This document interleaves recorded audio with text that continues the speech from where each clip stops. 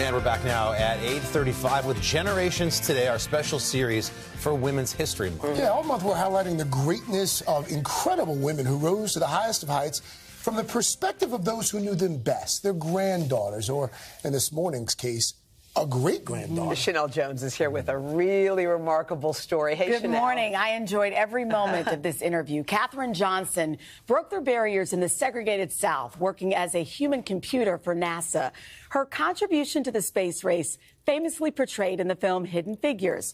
Now her young great granddaughter is looking to make a mark of her own. The love and math, their love of math and science, passing right on down to her. Nakia Boykin's face lights up when she talks about her favorite subject at school. How long have you loved math? For as long as I can remember, I've always excelled in it. Honestly, the more complex the problem, the bigger rush I get when I get it right. This is every parent's dream. I'm sitting, I'm sitting across from you. I've never heard anybody talk about math and get so excited. You could say her love of math is genetic. Her great grandmother is the late Katherine Johnson, the now famous NASA human computer whose problem solving skills helped launch the U.S. into space.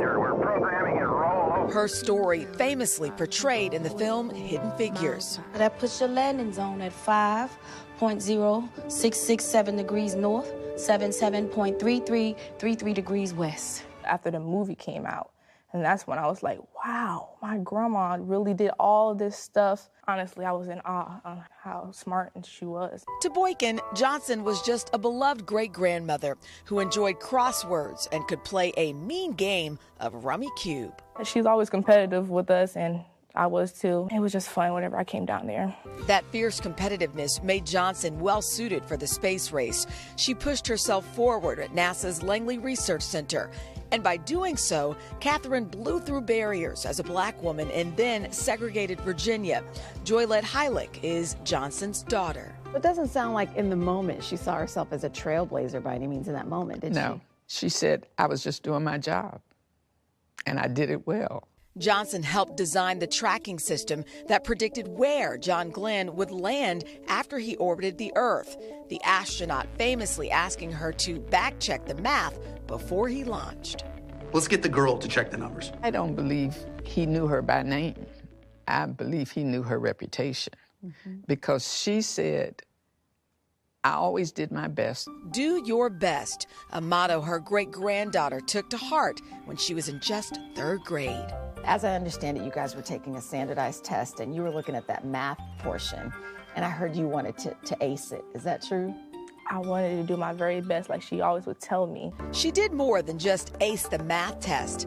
Nakia got a perfect score. I am like, Dad, guess what I got on my um, math SOL? I was like, I got 600. And we were just jumping up and down, laughing and everything. She couldn't wait to tell her great grandmother the news.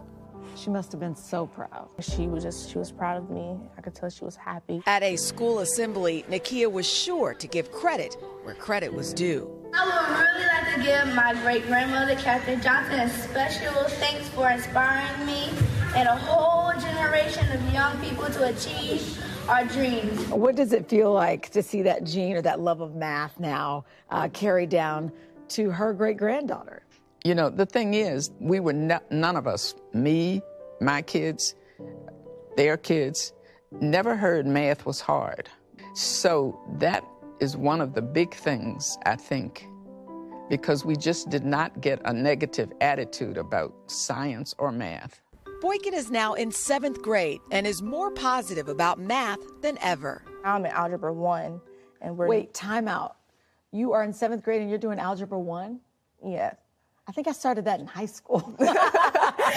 As for a career, I don't know if I'm going to work at NASA or anything like she did, but math definitely will always be with me as I get older. Nakia's future wide open, in part because of the path her great grandmother charted. Do you have any hopes for her in the future? Oh, of course. The sky is the limit, the moon is the limit.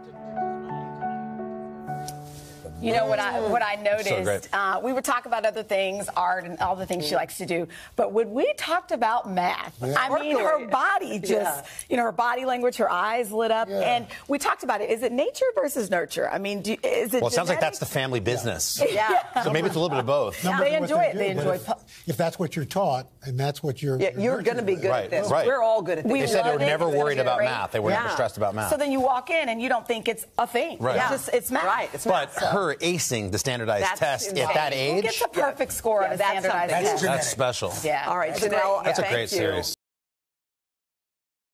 Hey, thanks for watching our YouTube channel. Find your favorite recipes, celebrity interviews, uplifting stories, shop our favorite deals, and so much more with the Today app. Download it now.